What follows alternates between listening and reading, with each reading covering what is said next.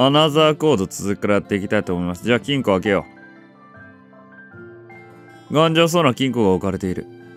ね中には何が入ってるんだろう。え、はあ、ダメだ、鍵がかかってる。リ番号知らない？ーうん。ごめん。ウェールズが何か残してないかな？えー、番号もうわかんの。あれ？もうわかんのこれ。ちょっと待って、ちょっと待って。な、え、なんかあったか？ね。とりあえずここ終わらせたじゃん、飾りだな。ウェルズ言ってたんだ。この銀食器は家族の象徴なんだって。家族の象徴？うん。家族が増えるたびに銀食器わあも一つずつ素敵だね。確か一番大きなゴブレットはひいおじい様でこの小さいお皿が僕とあフラニーだそうなんだ。はあ。じゃあ、この大きなお皿は？それは思い出せないえー、そっか。でも、これでバラバラだった家族が揃ったってことだね。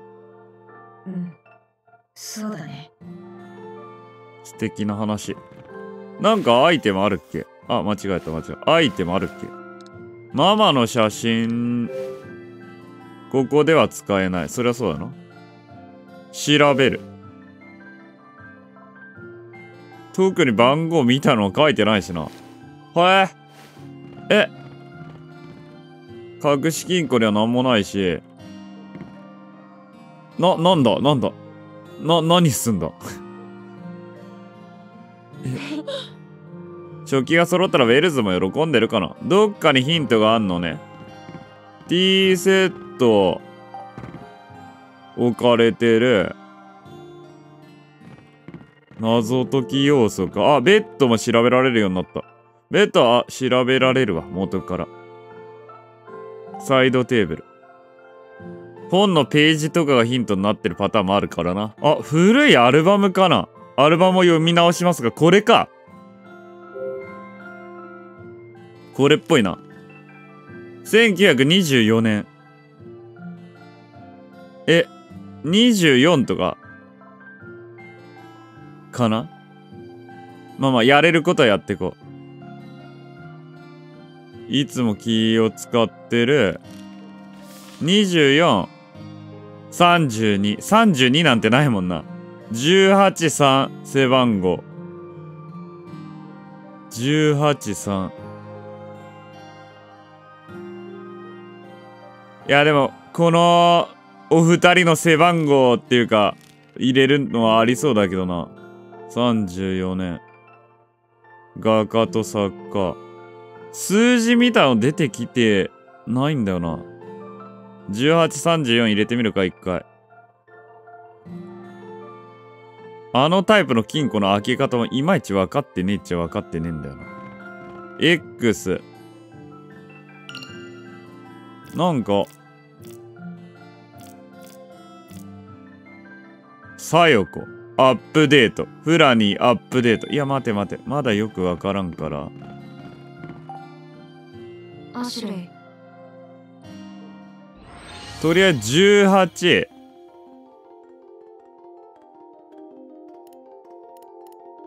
こっちか。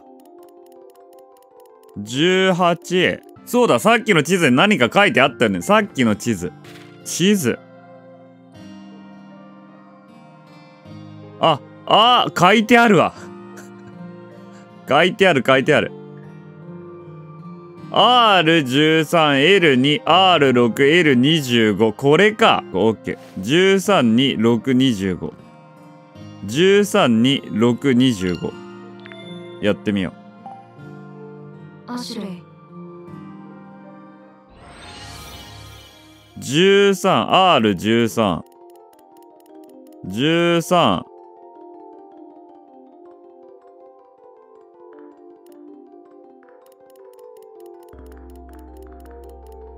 今の大丈夫かな？ちょ、わかんねえからもう一回やるか。13、13。で、2、6、次が6。めちゃくちゃ回させるな。6、25。そっかそっか。いや、ちょっと前回のパートから若干空いてるんすよね。忘れちゃった。すっかり。忘れてたわ。よーし。やった金庫が開いた。すごいねアシュレイいや、だいぶ手間取ったよ。じゃあ開けるよこれは鍵だやっ。ぱり鍵があったよしかも2つウェルズダイアリーもある。鍵がかかっている部屋にも入れるねラッキー。花の鍵を手に入れた。三つ葉の鍵を手に入れた。えーこっちの日記だね。きっとウェルズが書いたものだよおお。1916年、ようやくご消息が分かったレナード様だが、時すでに遅く、残念ながら流行り病で亡くなられていた。旦那様は残された二人のお孫様をおお引き取りになられる。旦那様に命ぜられ、幼い二人のために、東島と西島にそれぞれのお部屋を新しくご用意した。旦那様はその部屋を金の鳥の間、銀の鳥の間と名付けられたおしゃれ。あ、次のページ見たのがあったのか。1930年。お二人の背はとうに私を追い抜きたくましい。青年になられたトーマス様はヘンリー様と同じ。大学に進学なさった。賢く力強いヘンリー様。素直でお優しいトーマス様。そんなお二人の成長を一番喜んでいらっしゃるのは旦那様だろう。後継ぎのことはこれで何も心配ないと。なるほど。1936年ヘンリー様トーマス様共にご結婚。同じ年に？1943年12月ついにこの日が来てしまったヘンリー様とトーマス様が戦地へ向かわれることとなった。ああそういうことか。お墓に書いて刻まれてたさ。その没年見たのが同じだったのってそういう意味なのか。わあそっか。ヘンリー様とトーマス様が戦地へ向かわれることとなった。一段と激しさを増している対戦の最前線に向かわれるお二人。旦那様のお気持ちを思うと申し上げる言葉もなくただお二人のご無事を祈るばかりだ。1945年9月。待ちわびた日がやってきた。お二人が戦地よりご帰還されたのだ。ヘンリー様とトーマス様が二人揃ってご生還なされるとは何という喜びだろう。しかしお二人とも戦地で受け入れられた心と体の傷は大きい。ヘンリー様は絵画室にこもりかつてご自身の描いた作品を呆然と眺めるばかり。お食事など日々の雑事にも難儀しておられる。今は助けも必要だろうという旦那様の計らいもありご家族と一緒にこの島に残られるとのことだ。トーマス様は屋敷に数日滞在した後本土のご自宅へと戻られた。いつも通り明るく振る舞ってらっしゃったがその表情にはどこか陰りのようなものが見える。お二人のお気持ちは私には計り知れないがお疲れを取られ、早くお元気になられることを祈る。1946年、旦那様が遺言状を作られる。1948年、旦那様が病に伏せられる。私は何ということをしてしまったのか。私があの方に手紙を出し、この島にお呼びしなければ。だが、どんなに悔やんでもあの日々はもう戻ってこない。すべては私が招いたこと、責任は私にある。いつかエドワード家の血族がこの島を訪れるかもしれない。その時のために、屋敷の見取り図を残す。願わくば、主たちの魂が永遠に安らかであられますように。はあ。この旦那様ってきっと D のひいおじいさんのことだよね多分ねヘンリーとトーマスこの二人が兄弟でローレンスの孫ということは D?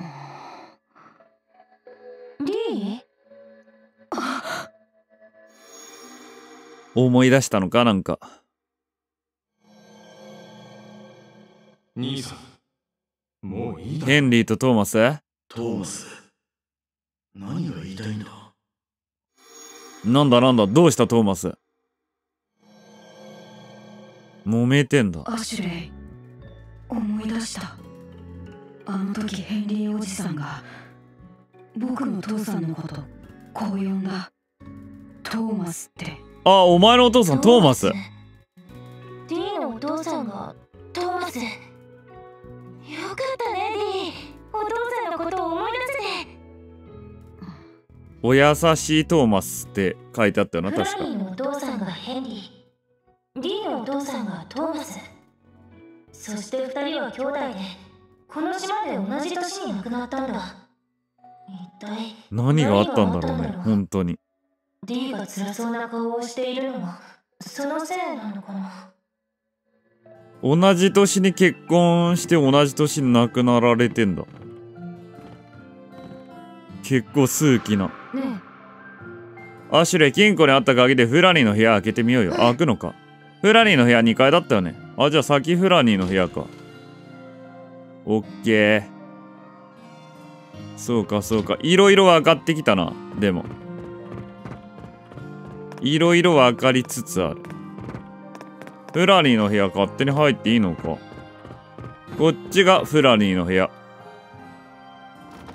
鍵のかかったドアには花を加えた鳥が描かれてる。ああ、そういう意味ね。オッケーオッケー。ってことはこっちに花の鍵。やった開いたよこれでフラニーの部屋に入れるね D もまた何か思い出せるかもうんもう一つの扉の方が D の扉だ、D の部屋だったりするのかな？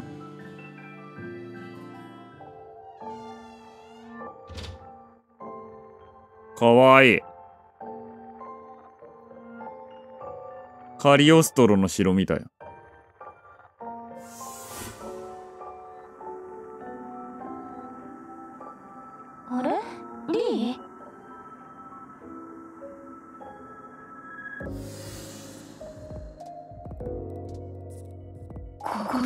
だよアシュレイここがフラニーの部屋なんだそうだろうな。ニコニコしてる。僕たちここで遊んだんだよ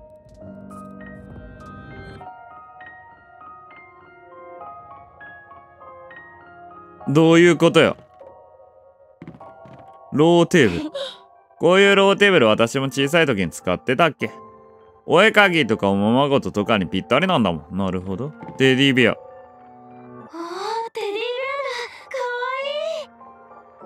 だかわいいこれフラニーのお気に入りだったレトロなベアもいいな私テディベア大好きん思い出すのか？いつも夢に見るあの夜のことが心に浮かんだそうだあの夜テーブルの上にはろうそくが立てられたケーキと赤いリボンのテディベアがあっ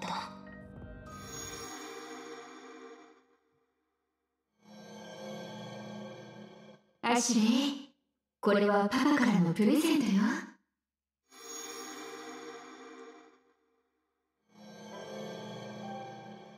そうだ。ママはそう言った。でもあの時パパはいなかった。あの晩パパはどこにいたの？アシュレイ？あアシュレイどうしたの？D 私も思い出した。テディベア見てママのことは。アシュレイのママ？うん。私ママのことほとんど覚えてないけど時々ママの夢を見るんだ。でもそれはいつも途中で終わってジェシカが言ってたんだ。パパに会えばママのこともわかるって。だからパパに会いに来たの？かもしれない。なるほど。まあ、割とアシュレイのことをまだ何も分かってないみたいなとこあるしね。ソファーだ。お気に入りのソファーだったのかな？積み木とか本とか置いたままだよ。なるほど。子供用の机。緑色の小さな机。これはフラニーの勉強机かな？フラニー。子供用のタンス。わあ、このタンスの取っ手いろんな形をしててかわいい。あ、確かに。と引き出しの中には何かあるかな？うん、空っぽか。空っぽか。ほう。ベッド。子供用の古いベッドが置かれている。毛布の色くすんでるいや、でも素敵。ずっと昔にここで寝てた女の子がいたんだそりゃそうだろ。ねえ D フラニーってどんな子だった？そうだね優しいけどちょっと生意気でよく笑うけどでも泣き虫でそしてすごく寂しがりだった。好きな女の子の紹介する時の言い方じゃない？えこの毛布と枕カバーのセンスがすごいいいな。好きだな。本だな。おーこれは？飾りだな。人形が飾られた棚がある。なんだ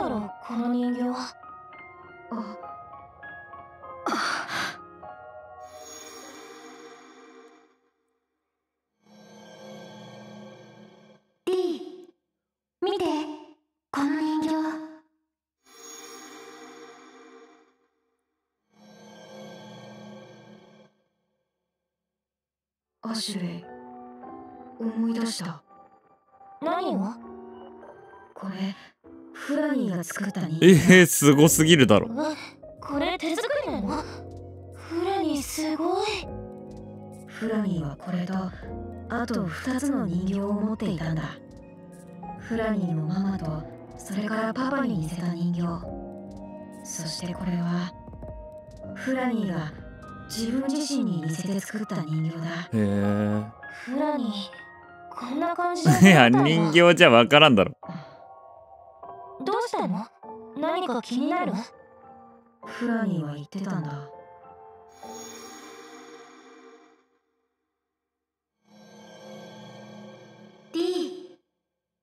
この人形たちは仲良くしてなきゃいけないの。お。ー仲良くすれば。そしたら。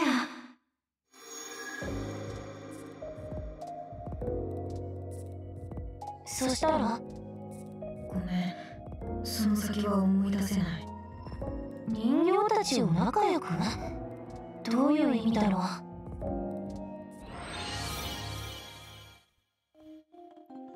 じゃあもう一人の人形があるってことでしょ？人形を取り付けられそうなスペースがある。人形はどっかにいんだ、引き出し。D 引き出しがついてるよ。開けてみるね。人形が入ってんのかな ?D なのかダメだ、開かない。おー、人形。取れた。フラニーの人形を手に入れたが不気味。くぼみが3つある。人形を取り付けられそうなスペースがある。おー。まあ、いっか。だから人形がまたどっかに置いてあるってことなんだろうね。本。本の後ろに何かあるかな？本をどかしても何もない。こっちか？人形があるんだろ？あー、それか。ま、一応カメラ撮っとくか。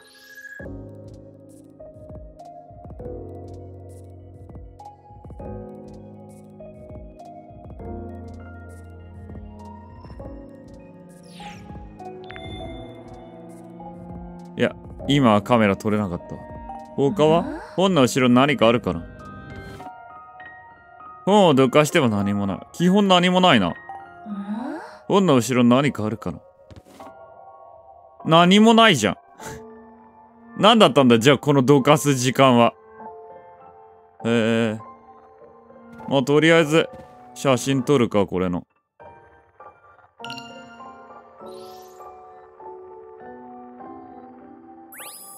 スキャン中。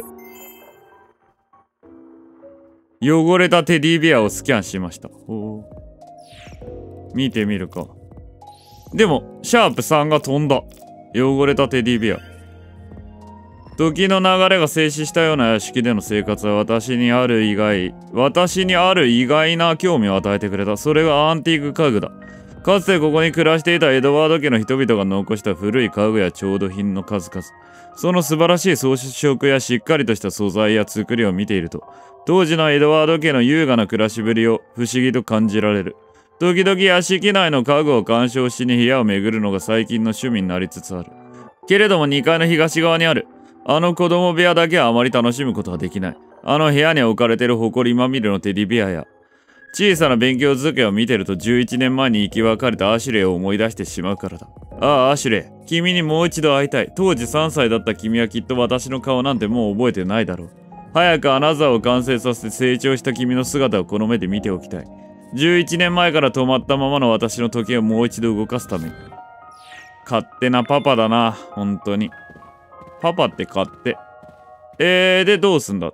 隣の部屋行くのか。じゃあ隣の部屋行くかな。あこことかも調べる積み木の箱。箱の中には積み木がたくさん入ってる。いろんな形の積み木が入ってる。フラニーが遊んでたのかな積み木の下に何かある。人形かようやく。積み木をどける。いやー大丈夫か。助けてやる。積み木箱には人形が入ってる。これもフラニーの作ったパパだな。腕がない。あれ？これ右手が取れちゃってる。え？ほら壊れてるよ。あ思い出すのどこかにあるのかな？右手はもともとないんだとあ思う。もともとないのか。その人形はフラニーのパパだから。だってフラニーのパパにはそうなのか。右手がなかったんだ。へえ。うん。ここにはもう人形がないみたいこれだけ探してないなら他の部屋にあるかな？オッケーオッケー。隣の部屋行くか。そういうこと言ってくれるのか？助かるな。フラニーのパパには右手がなかった。重要そうだな。ここが花の。三つ葉の鍵か。あ双葉の部屋ですね。ちょっとマップ見るか。どこだろうな三つ葉の。鍵を使えそうな。まあよくわかんねえから探しに行くか。ああった三つ葉の部屋。じゃあ三つ葉の鍵を使った。パパの部屋だったりすんのか？あいた。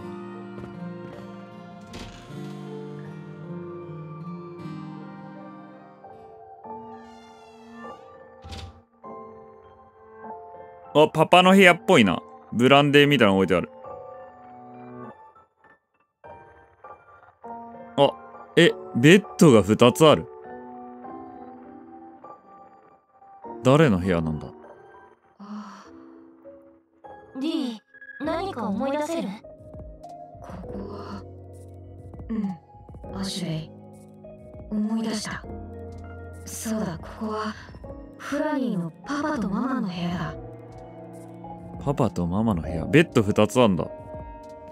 えー、ボトルとグラスもホコリで真っ白だ。中身のお酒は大丈夫？いやどうなんだろうね。大丈夫じゃない気がするけど。手紙。テーブルの上の本の隣に封の開いた手紙がある。この手紙くちゃくちゃ。まるで怒って握りつぶしたみたい。そうだね。読んでみよう。読めるの。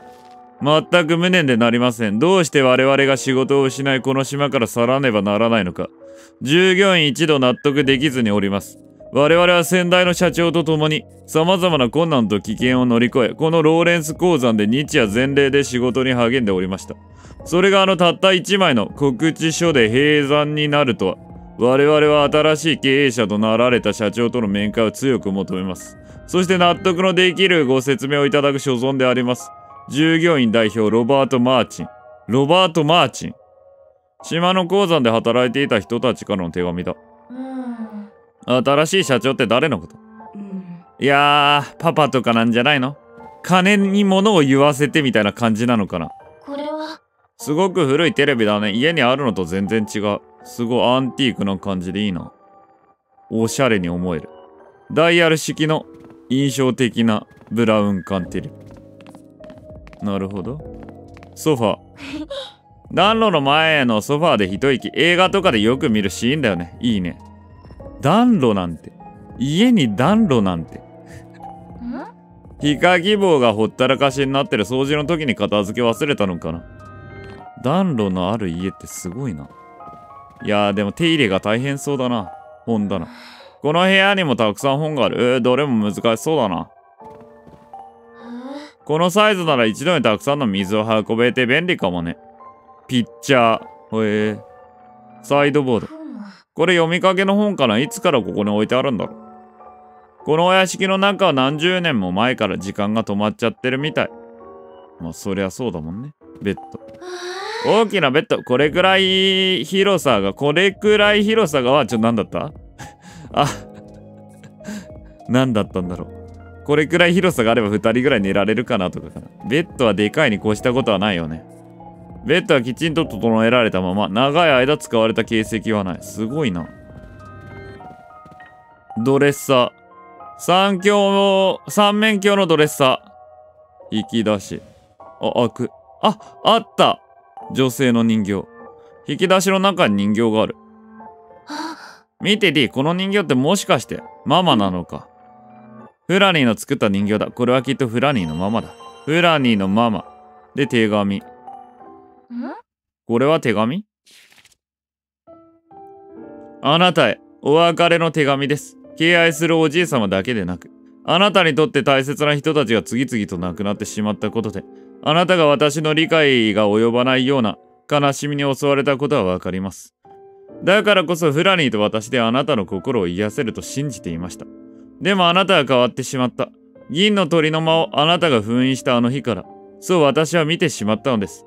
あなたが中庭の噴水に双葉の鍵を投げ捨てたの。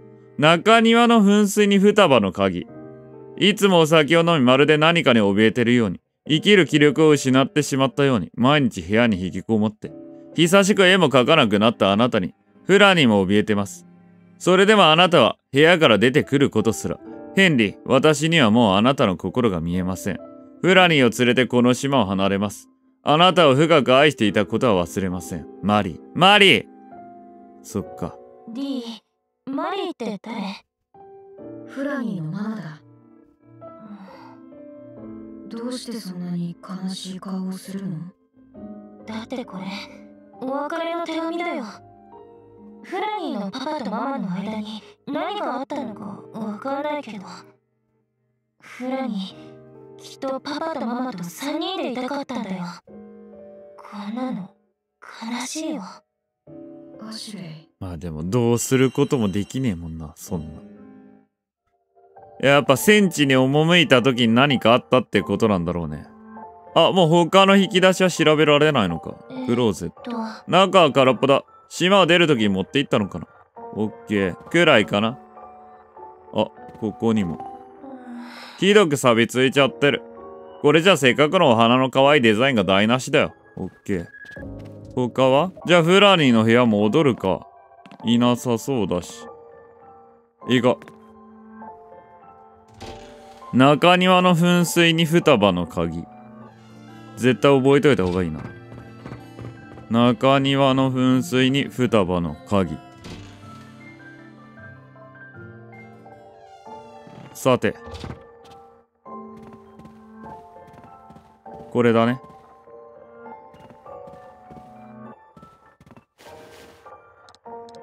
フラニーの人形。あここでは使えない。あれ。あそうか。こうやって使うのか。人形を飾るための棚がある。さて。アイテム。まずフラニーの人形が一番左に置いてあったもんね。フラニー。あ、そこでいいのちょっと待って、ここでいいの？フラニー。ちょっと待って。フラニーの人形はもともと左に置いてあったんだが、もともと左だもんね。ここに置こうかな。でママかな？間ママじゃない間ママ。えっとで、パパじゃない？なんとなく。えー、あー、違うわ。これ手をつなげるようにすんだ。手をつなげるようにすんだ。まだ仲良くできてないってことなのかな仲良くって言われてもどうすればいいんだ手をつなぐんだ。そういうことか。オッケーオッケー。よくわかったよくわかった。手をつなぐんだね。ってことは、真ん中フラニーか。真ん中フラニーっぽいね。高さ的にも。真ん中フラニーが一番綺麗じゃないか 真ん中フラニーが幸せだもんな。フラニーが一番幸せな形だもんな、それが。よし。これが一番幸せか。そうだな。そうだよな。これは仲いいもんな。よし。そういうことか。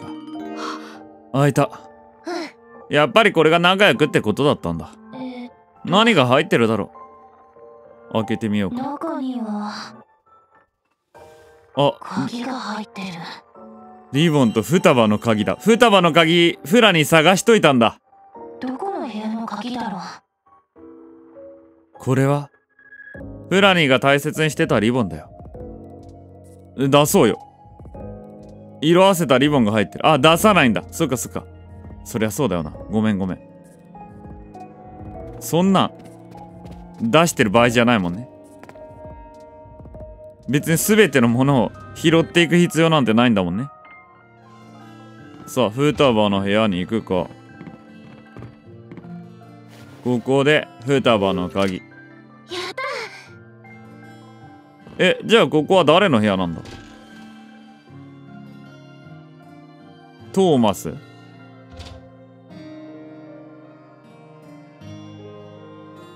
すげえ本がいっぱい。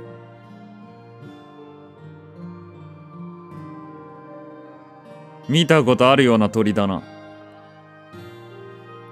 旧館長とかなんかな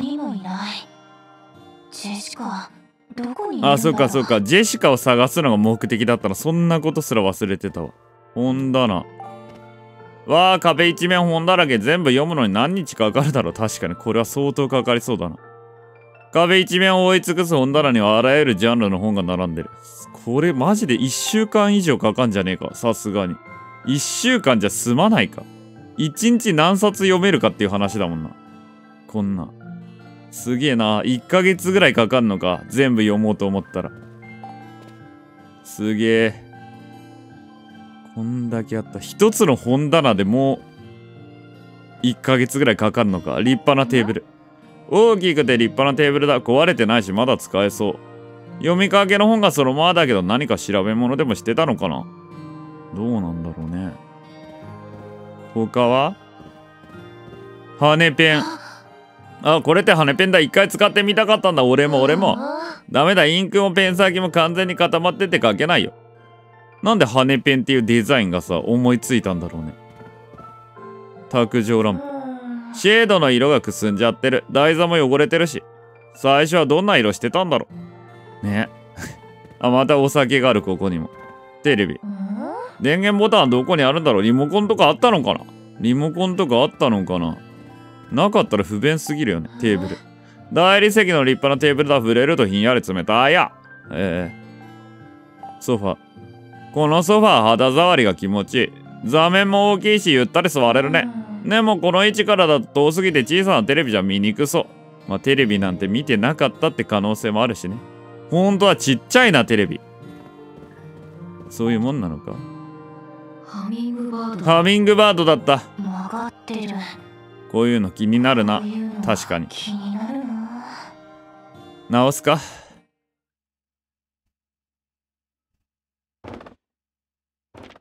おなんか落ちてきた。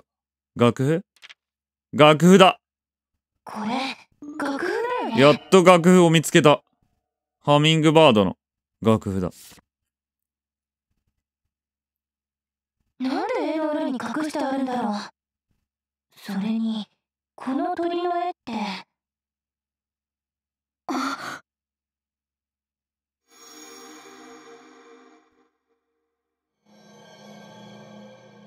リーこの楽譜には謎があるの。ほう。その謎を解いてピアノを弾くとね。ピアノの仕掛けがわかるの。いや謎解き屋敷すぎるだろここ。なんでなんでなんで。謎解き屋敷すぎるだろアシュレイ。思い出した。この楽譜フラニーが弾いていた。ピアノの楽譜だ。えー、そうなんだ。後でちょっとあアシュレイ弾けるんだ。アシュレイピアノ弾けるの？うん。学校のピアノで時々いやすげえ。アシュレイお願いこの楽譜ピアノで弾いてみて。じゃあ下降りるか。いいよ。ピアノを聴いたらリーがまた何か思い出せるかも。うん。でもフラニーは言ってたんだ。その楽譜には謎があるって。楽譜の謎？なんだ作曲者の意図あなんか書いてあんじゃん。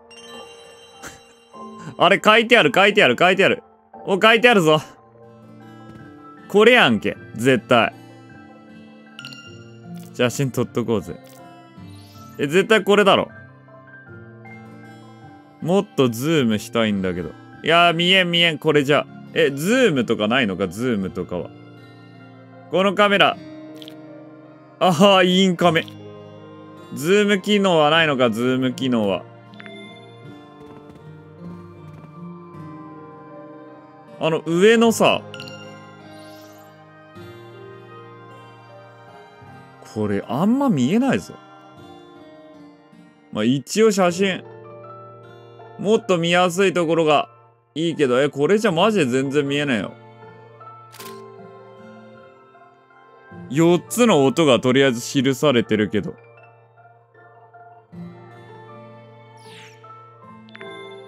見れるか？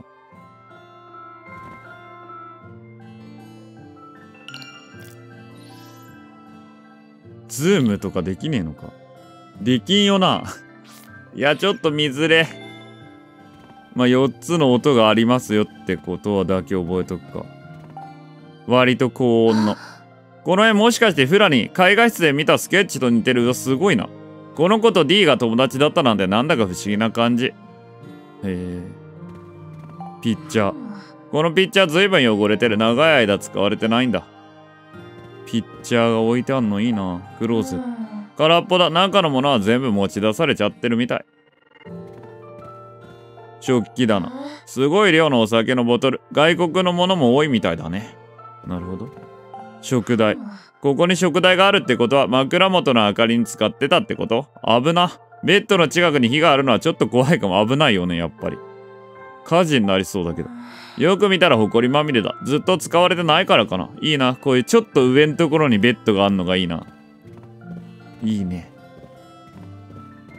ぐらいかな。じゃあ、ピアノ弾きに行くか。アイテム、楽譜。ここでは使えない。調べる。えー、あ、この、ハテナってなってる。あれ？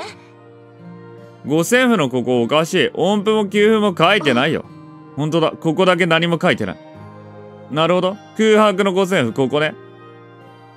じゃあ、ここにあの4つの音入れんのか。これやん。この4つの音を入れんだろうけど、壁にはハミングバードの絵が飾られてる。この鳥の絵。楽譜の絵と同じだね。何か意味あるのかな上に。いやもうこんなに楽譜書いてあったら、ここで写真撮れんのか。ズームして、ズーム。まあ一応撮っとくか。まこれでアシュレイに弾いてもらえばいいだけよ。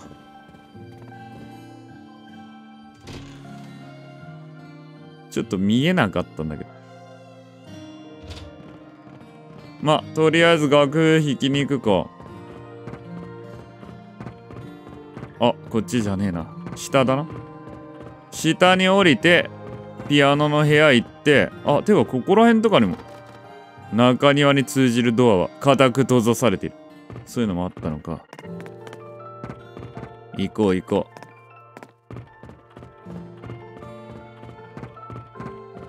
う。ゲストルーム。よし。じゃあピアノ弾いてみるか？ピアノ。古いグランドピアノがある。楽譜を置こう。楽譜。オッケー空白の五線譜どうする？え、謎は解いてあるぞ、一応。この楽譜何か変？で、ピアノ弾いてみようぜ。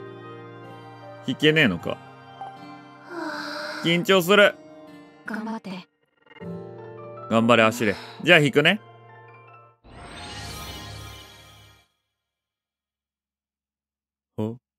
演奏開始。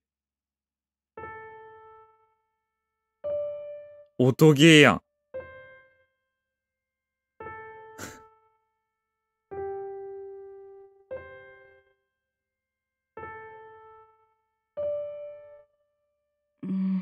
フラニーが弾いてくれた時よりなんだか寂しい曲だ。あ、マイナーコードになってる。寂しい。もしかして伴奏がないから。やっぱり2段目の五線譜にも音符がいる曲なのかなうん。え、なになに？どうすりゃいいの？それをどうすりゃいいの？んどうして金の鳥の間の絵と同じ鳥の絵が描かれてるんだろう？え、それをどうすりゃいいの？それを。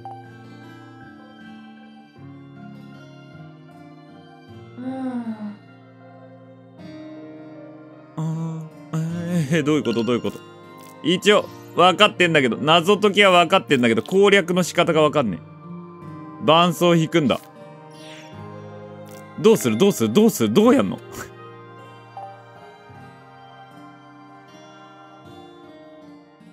うんピアノ弾かせてくれ俺に。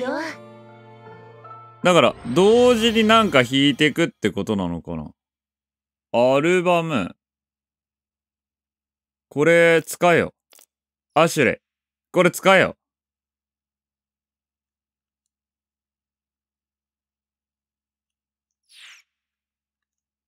演奏開始。ごめん。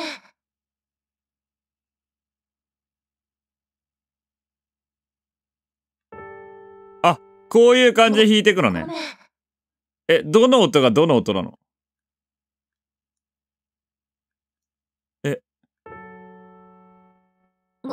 ごめん。どういうこと？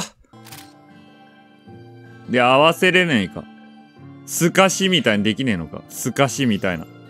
これとこれをさ重ねる。重ねるがある。重ねよう。あそういうギミックか。よし重ねろ重ねろ。よし！画偶とぴったりだ。早速画偶に書き写してみよう。そういうことか。そういうのがあったんだ。あえー、もうむずすぎんだけど。よし。書き写してみようできた。早速弾いてみよう。よしそれでいこう。あーそっか。時間かかったな。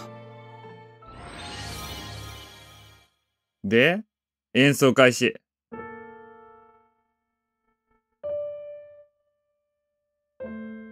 悲しそうなメロディーだけどな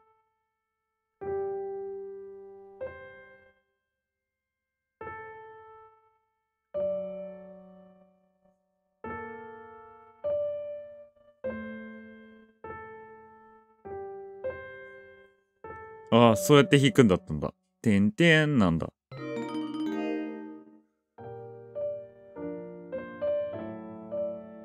上手じゃん。アシュレイ。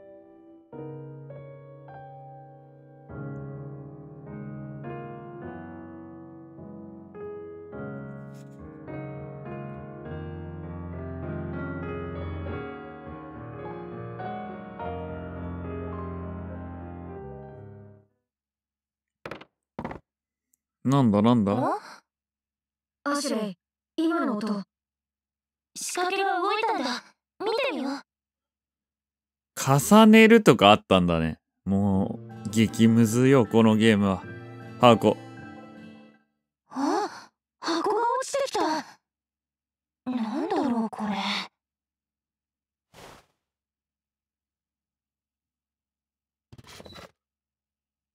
これは。なんだ？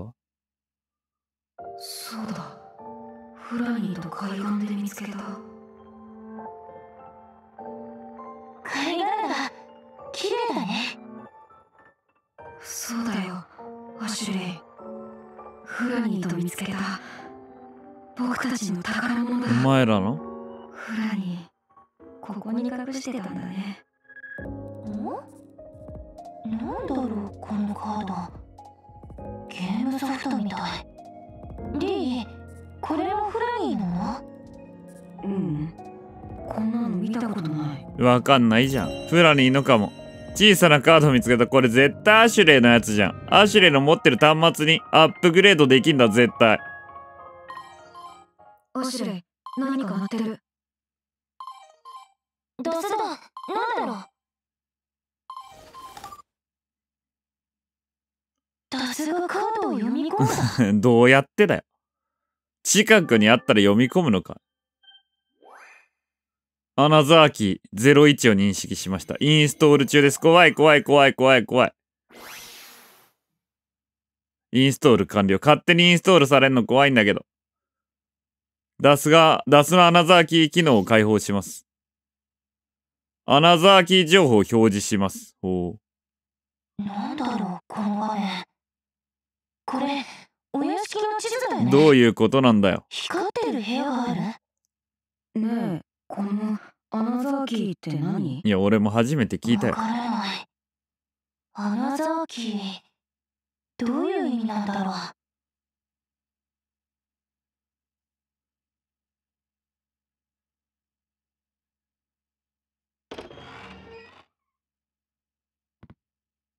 う？お、誰かあ聞いた。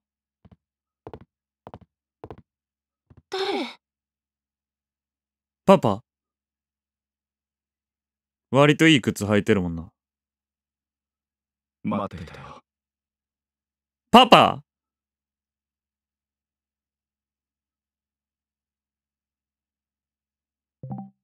セーブを行いますか？急に。第3章、パパとの再会。あ、パパも意外とこんなに早く来んの？もっともっと後かと思ったな。アシュレイだね。あリチャードだ。どうしよう。この人がパパ。パパだいぶアバンギャルドな髪型してるな。アシュレイあはい。こんなに大きくなったんだね。声かっこいい。私君を待っていたよ。何を話したらいいの？確かに確かに。そして妙に慣れ慣れしい。パ。パに聞きたいこといっぱいあるって思ってたのに。私胸がいっぱいで。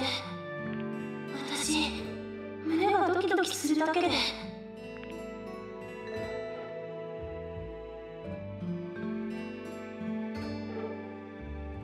頑張れ、アシュレ。イ。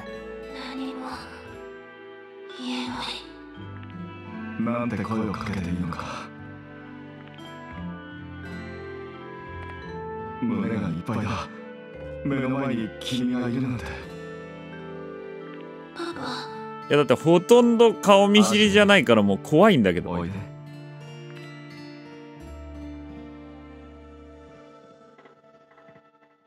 いいのか？犯罪にはならないか？不思議な気がした。パパに抱きしめられた時タバコの匂いがした。この人がパパ？わかるの？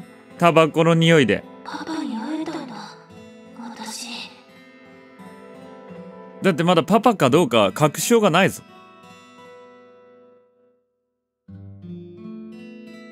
見えてたのパパも。パパジェシカはどこ？いやジェシカにはまだ会っていない。じゃあジェシカマジでどこ行ったの？いどうした？ジェシカは一緒じゃなかったな？やお前と一緒じゃねえのかよ。私のせいなんだ。私がわがまま言ってジェシカが先に行っちゃって。私追いかけたけど追いつかなくて。屋敷の近くまで来たらジェシカの悲鳴が聞こえたの。それから屋敷の門のところにジェシカのメガネが落ちて。てなんだと？知らなかった。そんなことが起きていたなんて。パパどうして迎えに来たの？いやそうだよね。それはどうしても研究から手が離せなかった。研究と私どっちが大事なのよ。アシュレ。いやでも私の方が大切なんじゃないの？パパに会ってないならジェシカはどこにいるんだろう？パパお願い。ジェシカを探して。もちろんだアシュレ。イジェシカは私が探す。ところでダスは持ってきたい。うん。もっと話すことあるだろ。持ってる。久しぶりに会ったんだから本当にパパいいか？パパどうしてこれ送ってきたの？それはそのことは後でゆっくり話すから持っていなさい。分かった。あそうだ。さっき出すが鳴って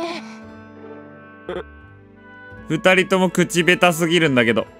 この画面はシステムが発動してる。パパの心の中も俺読めるの？西東に二つ東東に一つか。おやすでに一つアンロックされている。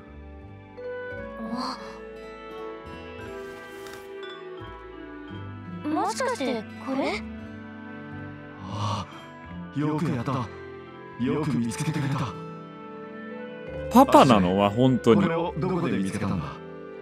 ピアノの中だよまさかそんな場所に。ねえパパ。これは何？どうしてピアノの中にあったの？お前本当にパパなの？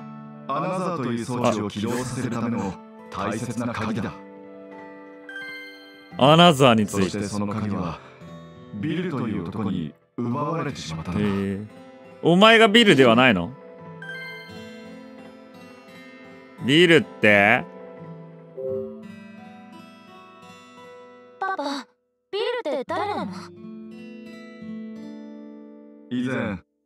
私の研究を手伝っていた男だ。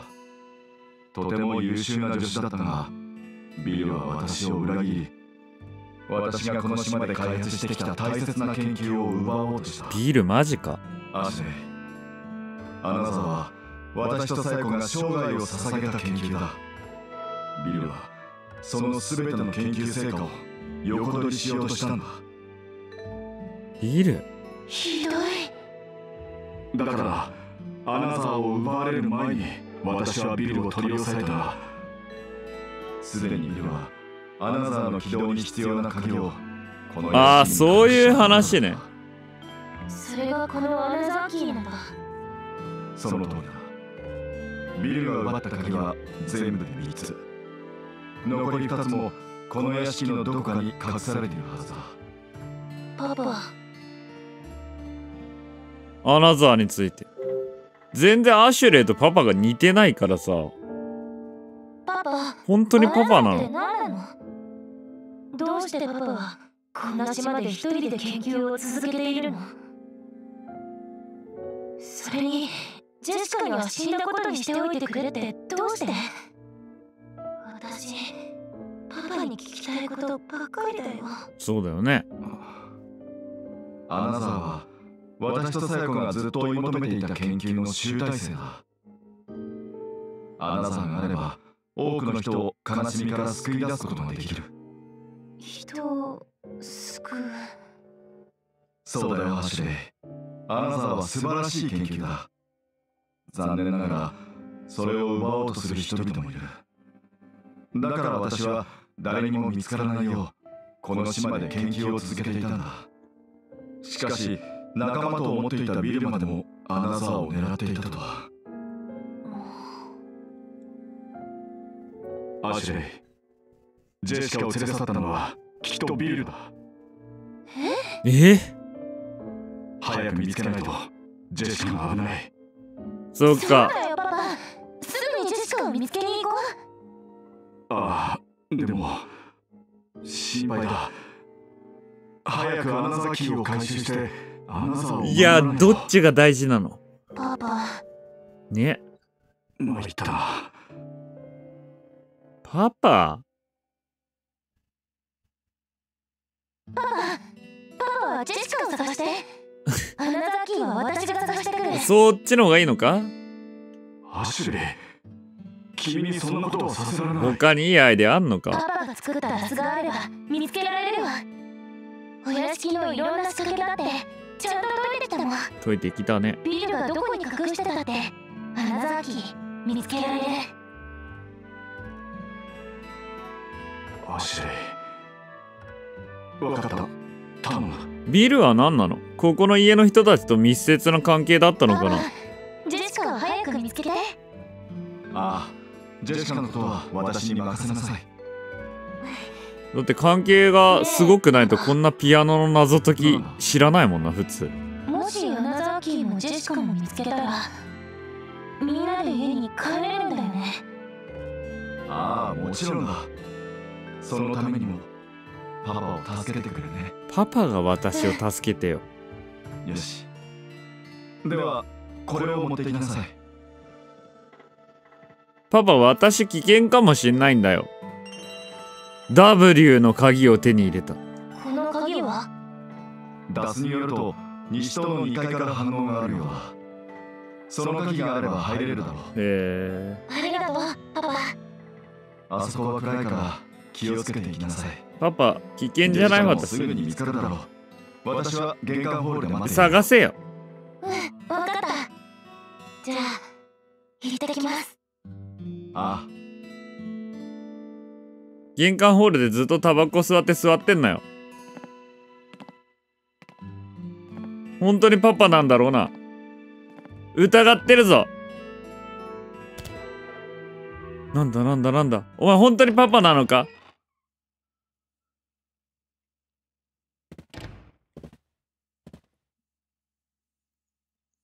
アシュレイえ何？